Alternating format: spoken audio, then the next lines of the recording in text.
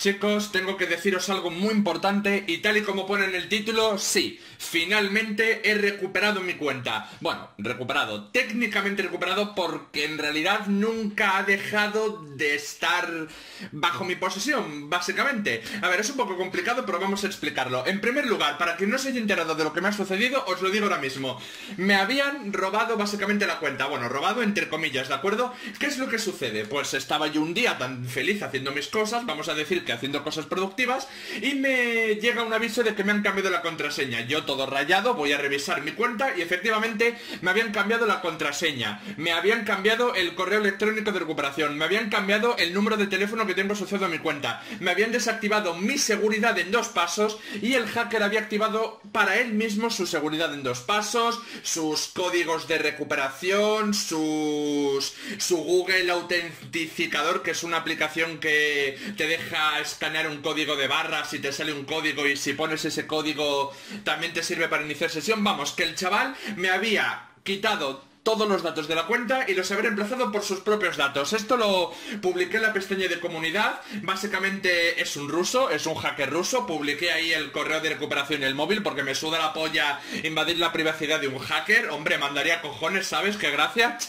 pues nada, que básicamente me habían dado bien por culito con este tema. Así que, ¿qué es lo que hice? Vale, pues en primer lugar me puse a chillar como nena y a lamentar mi vida y querer suicidarme. Después ya intenté recuperar un poco la cordura e intenté recuperar la contraseña. ¿Cómo? Pues básicamente dándole a la opción de has olvidado tu contraseña, le das y te salen diferentes formas de poder recuperarla. No me sirve ninguna, claro. No tenía mi teléfono, no tenía mi correo, no tenía nada. Pues al final de todas las opciones lo que salía es Vamos a enviar un, un correo a tu Gmail, capturedleak27.gmail.com, que es, el, que es el correo que me habían hackeado, con, de 48 a 72 horas, indicándote cómo puedes... diciéndote que puedes recuperar tu suculenta cuenta. O sea, que puedes cambiar la contraseña de tu suculenta cuenta. Y es en plan, ¿cómo me mandas un correo para recuperar mi cuenta al Gmail que está hackeado? No considero que fuera lo más inteligente, pero bueno, así lo decidieron y así se hizo. ¿Qué pasa? Pasaban los días y Nanay del Paraguay. Pasaron de 48 a 72 horas, pasaron más de 100 horas y seguía sin llegar el puñetero código. Así que, ah, por cierto, todo esto pasó el día 22 de abril, ¿vale? El día 22 fue el día negro para mí. ¿Qué sucedió después? Pues intenté pedir ayuda a, YouTube. Básicamente me recomendaron que fuera a Twitter y pusieron Twitter a, a la cuenta de YouTube diciéndoles el problema. Ellos me respondieron alrededor de una hora después y me mandaron un formulario. Yo tuve que rellenar ese formulario y una vez rellenado, ya está, lo mandé y tan felices todos. ¿Qué pasa? Pues pasaba un poco de tiempo y seguía sin haber novedad, así que mandé otro tweet a Twitter, o sea, mandé otro tweet a YouTube básicamente diciéndoles, a ver, escuchadme, aligerado un poco el paso que necesito recuperar mi cuenta ya. Bueno, siendo más educado, por supuesto. Y pasaron de mi puta cara, honestamente. Mandé un tweet a YouTube y a YouTube España y pasaron de mi putísima cara. Luego mandé un mensaje privado a YouTube porque cuando YouTube tiene un problema te sigue en Twitter para que tú le puedas seguir y os seguís mutuamente y te ayuda. Y al final sí me respondieron y me dijeron que el proceso era lento, pero que no se habían olvidado de mí, que podía tardar unas semanas en finalmente dejarme recuperar mi cuenta. Así que estaba putamente desesperado, no quería vivir, la verdad, estaba destrozado, tengo la ventana al lado, muchas veces me han entrado ganas de, bueno, mejor dejo de estas tonterías, a ver si me van a acusar de que me meto con los que se suicidan. Pero sí, básicamente estaba bastante triste, estaba rayado, en plan, ¿qué pasa con mi puñetera cuenta? Debería crearme otro canal, pero es que si lo hago no voy a tener monetización. Sí, ¿qué pasa? Pienso en eso, algún problema de algo tengo que comer. Y estaba destrozado, la verdad, no tenía ni putas ganas de subir vídeo, no tenía ganas de hacer nada salvo pegarme un tiro. ¿Qué fue lo que sucedió al final? Pues la verdad es que no estoy seguro. No sé cuál de las dos formas de ayudarme habrá sido, si bien el formulario que rellené en Twitter o el correo que me llegó de 48 a 72 horas. Bueno, que tendría que haberme llegado, pero el caso es que hoy, día 30 de abril, consulto mi Gmail, el de captura de 27com el hackeado, y efectivamente me había llegado un correo de Google diciéndome que termine el proceso de cambiar la contraseña, que le diera un botoncito y ya está, le di al botoncito y me pidieron cambiar la contraseña, así que me he puesto una contraseña que es... ¡Ah! No voy a decirlo. Evidentemente no, no me a ver, soy subnormal, pero tampoco tanto. Escribí la contraseña, la cambié y una vez que lo hice, finalmente pude recuperarla. ¿Qué es lo que hice después? Evidentemente, básicamente quité el correo de recuperación del hacker hijo de puta, básicamente quité su número de teléfono vinculado, la verificación en dos pasos se la quitó automáticamente Google a él, así que me la he puesto yo. Yo ya tengo mi verificación en dos pasos, mi Google autentificador, mis correos, mis, mis códigos de recuperación, que son unos códigos que te dan unos códigos de un solo uso, pones uno y ya está, se te arregla el momento, y básicamente todo eso. Y ahora bien, después de hacer todo eso, ¿finalmente recuperé la cuenta? Sí, ya está. La cuenta vuelve a ser mía. Ya tengo por fin toda la seguridad puesta y ya no se me puede volver a quitar, o eso espero. Y ahora bien, una, una pregunta que seguramente tenéis es, Captured, ¿por qué no simplemente no podías cambiar la contraseña desde tu propia sesión si ya la tenías iniciada. A ver, si algún hacker te, te, quitara la contraseña y entrara en tu cuenta, es evidente que el hacker ya tiene tu contra... A ver, bueno, espera, para eso tengo que explicar primero una cosa.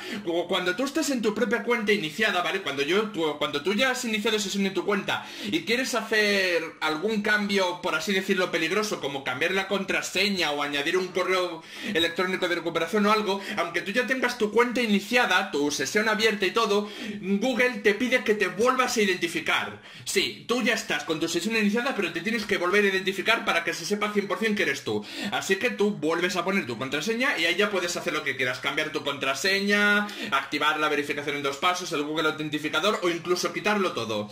Y entonces, básicamente, es en plan, si un hacker te quita la contraseña, ¿vale? Si un hacker, o sea, si un hacker te pilla la contraseña, la obtiene, pues el hacker pone la contraseña en tu cuenta y entra en tu cuenta. Y al hacker le va a dar igual que luego cuando él te quiera cuando él quiera hacer algún cambio en tu sesión, como cambiarte otra vez la contraseña, o sea, digo, cuando el hacker obtiene tu contraseña y él quiere cambiar la contraseña para que tú no tengas acceso, pues al hacker también le pedirían que confirmara su identidad. Pero es que él ya puede confirmarla porque él ya te ha robado la contraseña, ya puede volver a poner la contraseña. O sea, no sé si me explico.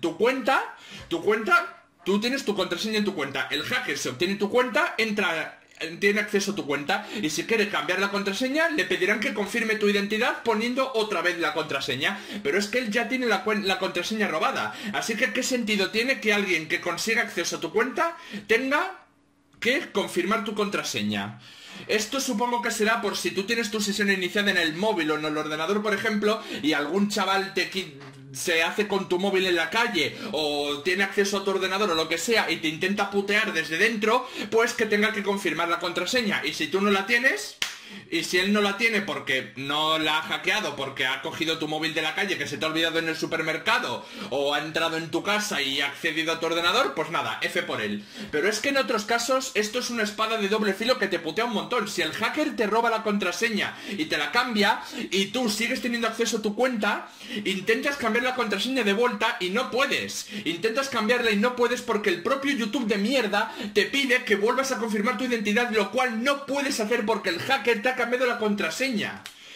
Es, es, como un ocupa. Tú estás en tu casa, te vas de tu casa un momento y cuando vuelves un ocupa te ha cambiado la cerradura. No puedes entrar a tu propia casa y por cierto, esto según la ley de España, el ocupa tendría derecho a estar no sé cuánto tiempo de, de derecho viviendo en tu casa y encima tú tienes que pagarle que pagar las facturas de tu propia casa y todo ese rollo. En fin, lo de los ocupas es una putada asquerosa. Pero bueno, el caso. Así que por esa razón no había sido capaz de hacer nada hasta ahora. Y ahora bien, lo último que os estaréis preguntando es posiblemente cómo demonios es posible que te hayan robado la cuenta pero siguieras teniéndola. Vale, pues básicamente lo que sucedió es que, aunque a mí me habían robado la contraseña, aunque efectivamente a mí me habían me habían cambiado todos los datos de la cuenta para privarme el acceso a ella, yo ya había, yo ya tenía mi, sesión iniciada en el ordenador, ¿sabes? En el ordenador y en el móvil yo tengo mi cuenta de YouTube ya puesta, mi Gmail, así que puedo hacer lo que me dé la gana desde ahí. Y no perdí el acceso en ningún momento porque en ningún momento se me cerró la sesión. Yo continuaba pudiendo utilizar mi Gmail y, mi canal de YouTube. Era como simplemente, como si simplemente la cuenta estuviera compartida, ¿sabéis? Yo ahora, en vez de compartir piso con Pepito Grillo, pues comparto el piso con el hacker ruso que tiene acceso a mi cuenta y yo también la tengo. Eso sí, era un peligro constante, porque si en algún momento yo cerraba la sesión, ya está.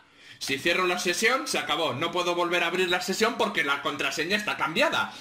Así que era era como, yo qué sé, como vivir en una casa que está encima de un río de lava, ¿sabes? Que en cualquier momento la casa se puede desmoronar y te caes al río de lava y te mueres. No sé, ha sido un ejemplo un poco absurdo, pero es que más o menos es eso, ¿sabes? Vives con el peligro constante de que en cualquier momento puede pasarle algo a tu cuenta y se acabó. ¿Y por qué en cualquier momento podía pasarme algo? ¿Por qué iba yo a cerrar mi sesión? Pues veréis, lo único que podía hacer yo contra el hacker, lo único que podía hacer para luchar, para defenderme, era ir a las opciones de Google y una opción que dice básicamente que te cuenta qué dispositivos están con tu sesión iniciada, ¿sabes? ¿Qué dispositivos tienen tu cuenta abierta? Y esos dispositivos eran el ordenador, era, mi propio ordenador, mi ordenador aquí de mi casa, donde tengo la sesión iniciada, era el ordenador del hacker ruso y el teléfono móvil del hacker ruso. ¿Qué podía hacer yo? Lo único que podía hacer, y para lo que gracias al señor Jesus Salva Mayo no me pedía confirmar mi contraseña, era quitar el acceso a esos dispositivos. Así que podía quitar el acceso al ruso desde su ordenador y su móvil de mi sesión. No servía para nada porque en cuanto el ruso se diera cuenta podía volver a poner mi propia contraseña y volver a entrar en mi cuenta. Pero yo qué sé, era lo único que podía hacer. Y claro, lo que temía yo era, si yo puedo desde mi ordenador quitarle a él acceso desde el suyo, él desde su ordenador también puede quitarme a mí el acceso desde mi ordenador. Y, es que hubiera sido un puto botón. Le da el ruso. ¡Clic! Un botoncito de mierda y no sé qué habría pasado, no sé si me habría podido cerrar la sesión o no, la verdad. A mí no me dejaba cerrarme mi propia sesión, a mí no me dejaba cerrar sesión desde mi propio dispositivo dándole esa opción, ¿vale? Yo no podía cerrar mi propio ordenador desde esa página, pero sí podía cerrar el suyo. No sé, la verdad, si a él sí le hubiera dejado cerrar la mía o no. No tengo ni idea. Una vez que le quité el acceso desde su ordenador y desde su móvil, me fui a dormir y a la mañana siguiente el hacker ruso de nuevo había iniciado sesión con mi cuenta, con su ordenador y su móvil, así que una vez más le quité el acceso, le cerré el acceso y desde ese momento tenía durante todo el día abierta la ventanita esta de, de, la, de los dispositivos para ir actualizándola de vez en cuando y si veía que el tío entraba, se la chapaba. ¿Qué pasa? Que no volvió a intentarlo. Se le quité dos veces el acceso y ya no volvió a intentar entrar, básicamente. Así que... Bueno, pues básicamente. Y ahora, y ahora quiero responder a otra duda. Y Captured, ¿ha sido... ¿Te ha hecho algo el, el hacker en tu cuenta? ¿Te ha hecho lo que sea? Pues... No. No me ha hecho absolutamente nada. Me dijeron que normalmente cuando te roban la cuenta es porque te quieren extorsionar, ya sea mándame cierta cantidad de dinero, de dinero o bitcoins, creo que creo que usan bitcoins para esto, a cierta cuenta o, o yo que sé, o destapo todos tus datos personales, o te borro tu canal, o te borro todos tus vídeos, o mando imágenes porno a tus amigos para que se piensen que eres un salido de mierda y dejen de hablarte, yo que sé, hay mil formas de extorsionar a alguien. O simplemente podría haber entrado en mi canal de YouTube y, borrarme todos los vídeos o, borrarme el propio canal. No sé si se habría podido, ¿vale? No sé si habría necesitado él algún dato más que solo yo tuviera o, o si luego yo podría haber pedido ayuda a YouTube y me lo habrían restaurado. Supongo que sí, pero el caso es que no pasó absolutamente nada. El tío no hizo nada de nada con mi cuenta. Nada. Nada. Cambió los datos y ahí se quedó, y se olvidó de ella. No me borró ningún vídeo, no mandó ningún Gmail, nada, no hizo nada desde mi cuenta. No entiendo...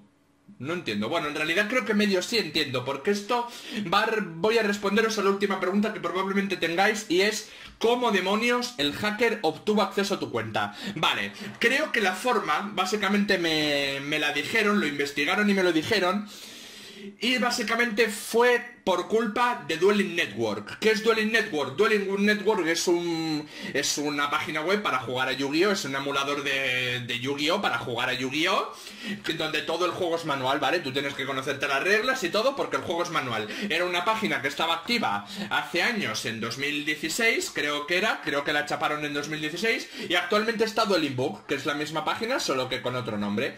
Pues ¿qué pasó? Que en 2016 creo que fue Dueling Network sufrió un ataque de hackers y tras ese ataque de hackers parece que no ha sido hasta ahora que han tomado las cuentas de, de, vete a saber cuánta gente. Han tomado los datos personales de vete a saber cuántas personas que estuvieran registradas en Dueling Network. No sé si todos, ¿vale? No sé si todas las personas que estuvieran registradas. Digo yo que solo habrán sido algunas. No sé si la mayoría, si la minoría, pero vamos. El caso es que se han hecho con un montón de cuentas de Dueling Network que estuvieran registradas a Dueling Network de esta forma, incluida la mía. No me preguntéis si yo había creado una cuenta en Dueling Network con la misma contraseña que tenía en YouTube, porque no me acuerdo. Fue hace muchos años que yo jugaba en Dueling Network. Creo que en 2014 empecé a jugar y en 2016 ya se murió Dueling Network, creo recordar. Así que no me acuerdo de absolutamente nada de esa época. Bueno, me acuerdo de los duelos que tenía un poco, pero ya no me acuerdo con qué cuenta me registré y tal. Así que nada, no, no sé qué más decir al respecto. Así que simplemente ahora ya lo que estoy haciendo para asegurarme de que nunca más vuelva a pasarme esto es tener una contraseña diferente en cada, en cada sitio. Cada sitio donde me logueo pongo una contraseña distinta y es una contraseña compleja, ¿vale? Llena de numeritos, letras, signos, mayúsculas, minúsculas, todo lo que puedo poner distinto para que sea muy jodida de obtener y, ya está. Y he puesto la verificación en dos pasos, el Google autentificador, todo. He puesto todas las opciones que he podido para tener mi contraseña al máximo protegida. Así que esto es todo lo que quiere decir, la verdad. Me he enrollado mucho más de lo que pensaba. Os juro que pensaba que este vídeo iba a durar unos pocos minutos, pero bueno, espero de corazón que, que lo hayáis visto hasta el final porque, no sé, creo que a lo mejor la historia que acabo de contar puede servir a alguien o, yo qué sé, o puede interesar para lo que sea, no sé, en fin. Bueno chicos, el caso es que todo el final ha salido bien, he tenido un final feliz. Habrá gente a la que por supuesto le haya pasado, ¿vale? Que le hayan robado la cuenta y nunca haya podido recuperarla y a lo mejor le hayan borrado el canal o yo qué sé, la cuenta estaba vinculada a su cuenta bancaria y le han quitado todo el dinero, yo qué sé, yo qué sé. Lo mío solo ha acabado en un susto, pero esto definitivamente podría haber sido mucho más grave, así que chicos, moraleja de la historia, tened mucho cuidado con vuestras cuentas y todo ese rollo, que no os pase lo que a mí. Esto ha sido todo y nos vemos en el próximo vídeo.